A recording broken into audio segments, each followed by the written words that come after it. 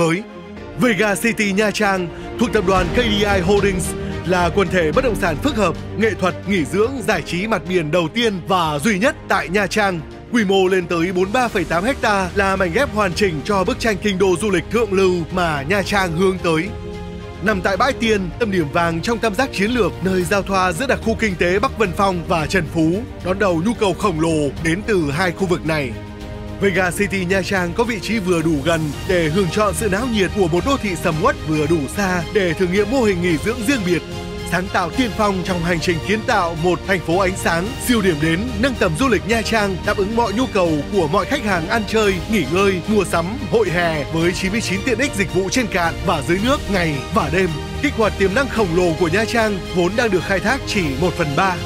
Mặc dù là một thành phố du lịch với nhiều nội lực xứng tầm quốc tế, nhưng trên thực tế, Nha Trang chủ yếu tập trung các khách sạn tầm trung, 3 sao, 4 sao. Dự án Vega City Nha Trang với 100 biệt thự và khách sạn đẳng cấp 5 sao 6 sao hứa hẹn sẽ là một cú đón đầu với nhóm khách hàng thượng lưu trong nước và quốc tế để thu hút và thỏa mãn nhu cầu nghỉ dưỡng của giới thượng lưu khi tới Nha Trang. Và không chỉ thỏa mãn nhu cầu ăn ở, nghỉ dưỡng dành cho nhóm đối tượng khách hàng thượng lưu, chuỗi cơ sở hạ tầng tại Vega City Nha Trang cũng kỳ vọng tạo ra một hệ sinh thái du lịch cao cấp hoàn toàn khép kín, xứng tầm và đáng để chờ đợi. Quần thể Shop House chạm sóng liền cát duy nhất tại Việt Nam. Vega Continental nhà hát Lotus Opera, nơi diễn ra các show diễn nghệ thuật đẳng cấp hay Vega Beach Club, đến du thuyền sang trọng.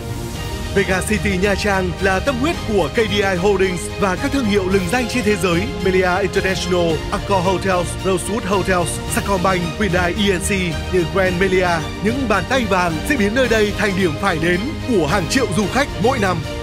Là sự kết hợp hoàn hảo giữa bất động sản nghỉ dưỡng và bất động sản thương mại tại thành phố du lịch hàng đầu với những ưu điểm vượt trội của bộ đội nguyên tử này, Vega City Nha Trang hứa hẹn sẽ trở thành trung tâm du lịch thượng lưu mới của Việt Nam, là cơ hội không đến lần thứ hai của nhà đầu tư và là di sản mặt biển có 102 để truyền lại cho thế hệ mai sau.